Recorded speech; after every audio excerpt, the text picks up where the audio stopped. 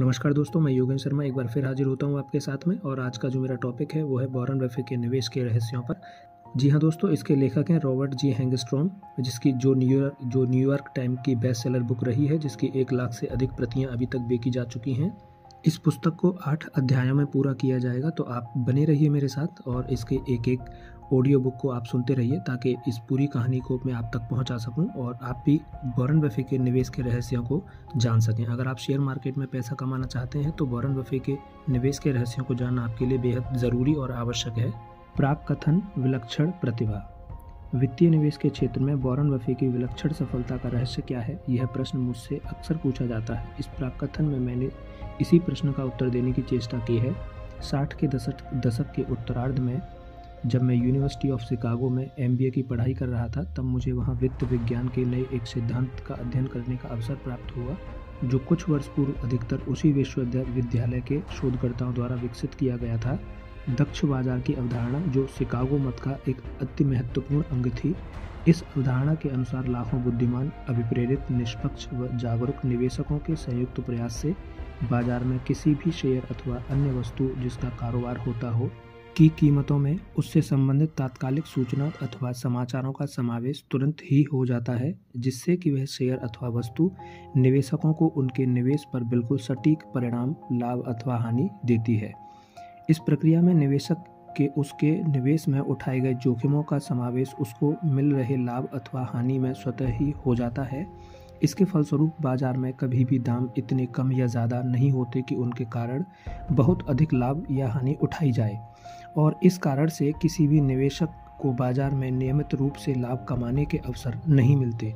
इस अवधारणा से शिकागो मत सर्वाधिक प्रसिद्ध सूत्र उद्धत है और वह है कि बाज़ार को कभी नहीं हराया जा सकता।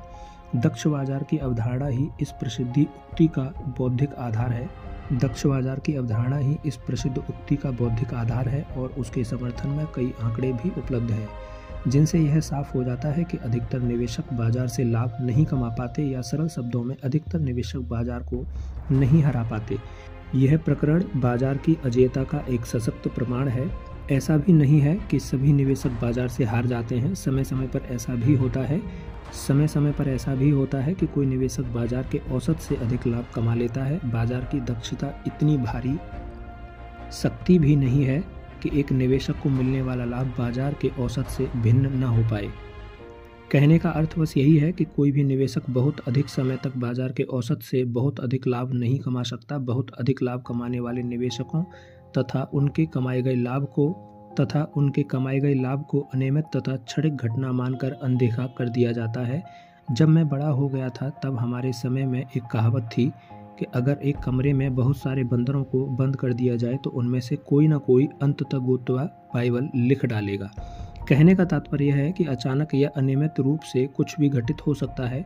यद्यपि जैसा कि मेरी माँ कहा करती थी, अपवादों से ही सिद्धांत सिद्ध होता है, अर्थात किसी भी नियम अथवा सिद्धांत के जितने कम अपवाद होंगे, उतना ही उस सिद्धांत की मूलभूत सत्यता सिद्ध हो जाएगी।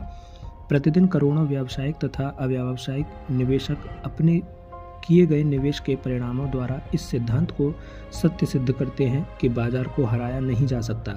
परंतु इसी बाज़ार में हमें बॉरन बफे तथा कुछ अन्य प्रसिद्ध निवेशक जैसे कि Ben Graham, Peter Lynch Stanley Druckenmiller George Soros एवं जूलियन रॉबर्टसन भी दिखाई पड़ते हैं, जिनके द्वारा बाज़ार में किए गए निवेशों के परिणाम जिनके द्वारा बाज़ार में किए गए निवेशों के परिणाम शिकागो मत के इस सिद्धांत की धज्जियाँ उड़ाते दिखाई पड़ते हैं।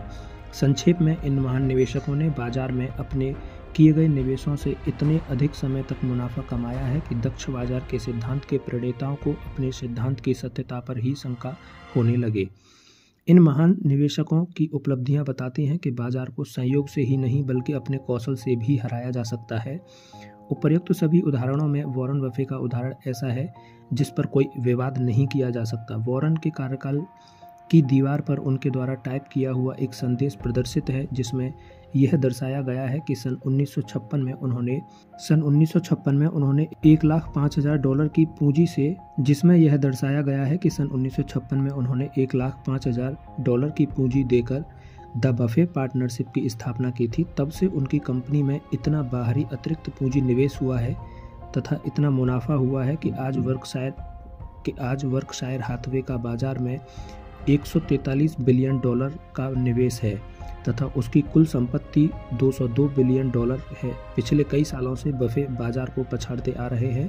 आज वह अमेरिका के दूसरे सबसे अमीर व्यक्ति हैं।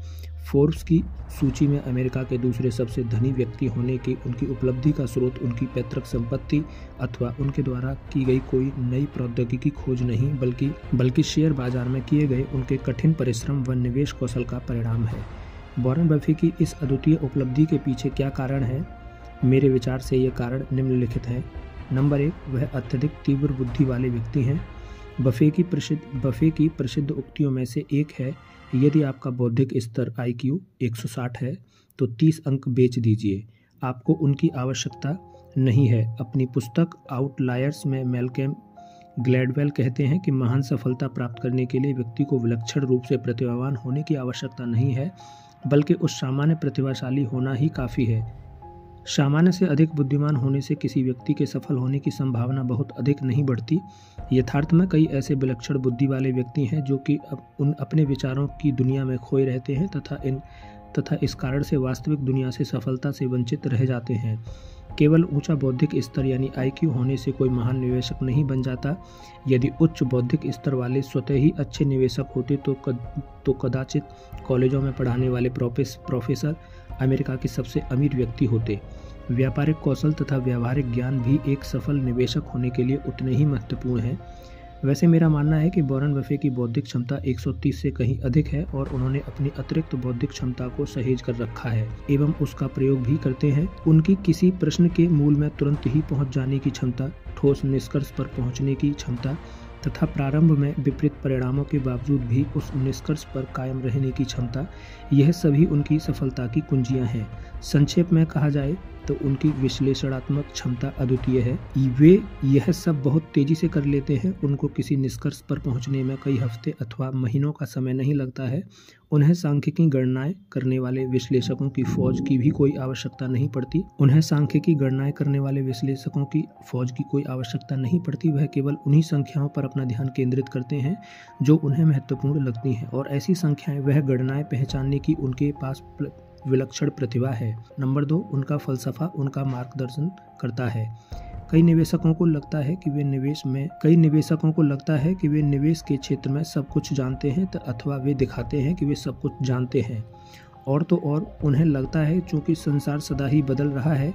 और तो और, उन्हें लगता है चूँकि संसार सदा ही बदल रहा है, इसलिए उन्हें बदलाव के साथ चलने के लिए सदा ही अपनी सोच ही बदलनी चाहिए, जिससे कि वे बदलते समय के पीछे ना रह जाएँ। इस सोच के साथ समस्या यह है कि हर व्यक्ति हर समय सब कुछ नहीं जान सकता। बार बार अपनी सोच तथा कार्यशैली बदलना एक कठिन कार्य है तथा ऐसी सोच के कारण एक निवेशक में विशिष्ट ज्ञान और उपयोगी व्यावहारिक ज्ञान ज्ञान का विकास तथा ऐसी सोच के कारण एक निवेशक में विशिष्ट ज्ञान तथा उपयोगी व्यावहारिक ज्ञान का विकास होने में बाधा उत्पन्न होती है।